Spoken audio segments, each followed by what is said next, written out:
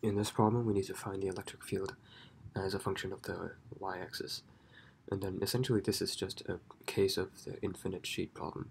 So if you have an infinite sheet of charges, then you know that the electric field is equal to sigma over 2 epsilon. So this was proven before.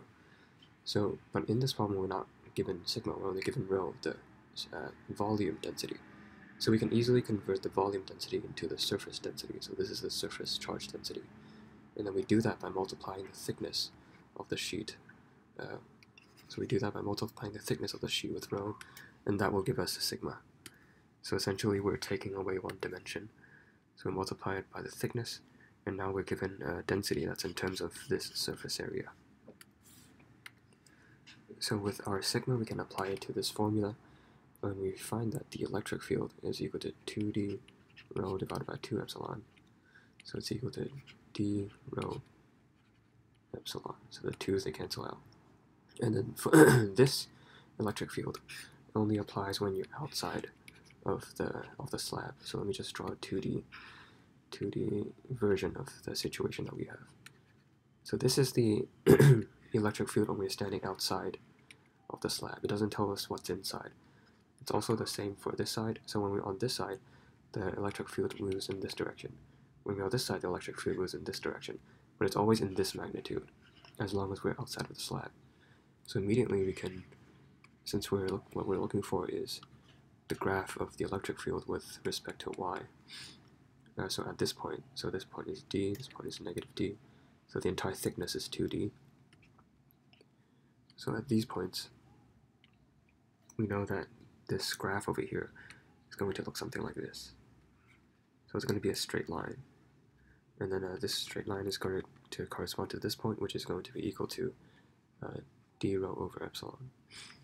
And the same for this, only this time it's negative d rho over epsilon, because once you're at this side, the electric field points leftward. So now the challenge is to find what happens in the middle.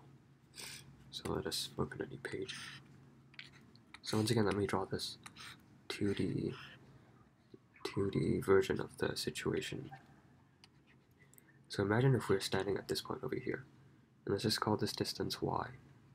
So what is the amount of electric field that I will experience at this very point? So you can imagine cutting up this infinite slab right at this very point. And then essentially you have you're in you're in a situation where you have two infinite sheets and they're kind of competing against each other.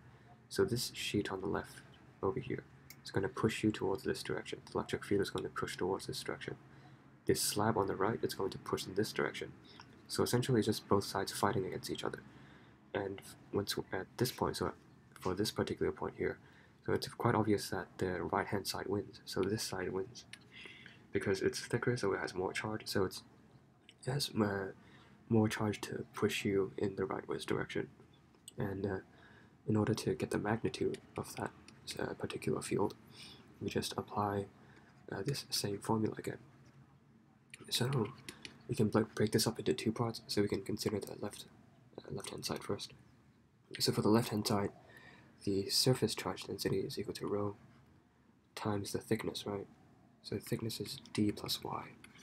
So recall that this length here is d, this length here is y, and then this length here is d minus y. So this is the electric field from from this section. Now the electric field from this section is quite similar, but it's in the other direction, right? So we can put a minus, and then again rho times the thickness, d minus y, divided by 2 epsilon. So uh, quite obviously the d's they cancel out, so you get 2y rho 2 epsilon. So you get y rho epsilon, so the 2's cancel out. So this is our answer. So you see that this is actually a function of y, so you have rho divided by epsilon times y. So if this is a, so you see this linear relationship, that means in the in this middle region over here, this graph is going to look something like this. It's going to pass through the origin, and then it's going to meet at this point. So this is a very bad drawing. So, but this is actually a straight line. So uh, this section over here, this is e equals to y rho divided by epsilon. So that's how you solve this problem.